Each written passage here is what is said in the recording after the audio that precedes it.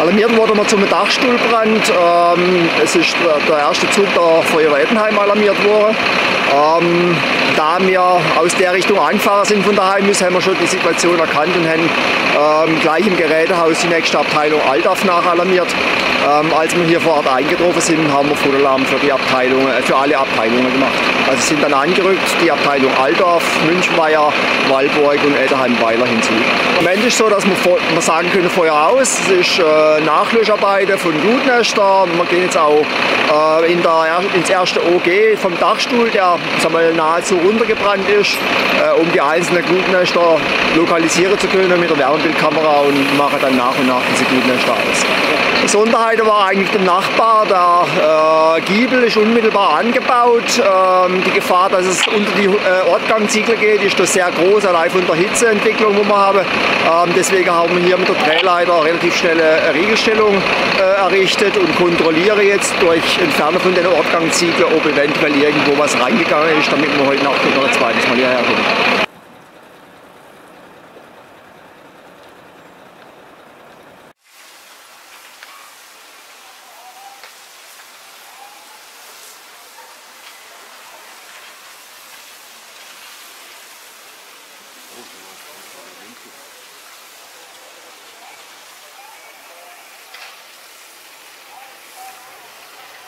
Genau, wir sind hier zu Besuch zum Kaffeetrinken gekommen und habe dann auf einmal gesehen, dass es aus dem Dach raus raucht. Dann auch gleich Feuerwehr alarmiert und da noch jede Menge Autos wegfahren, das Gartentor ausgehängt und Platz gemacht, dass Feuerwehr herfahren kann.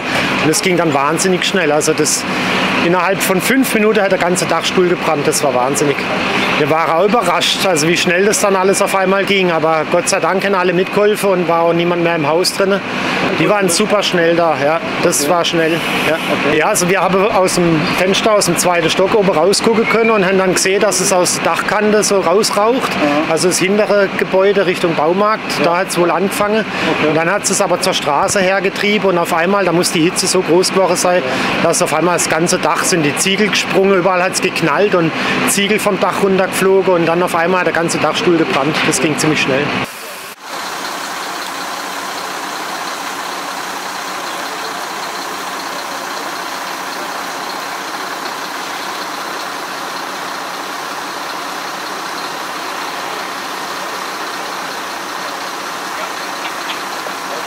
Dann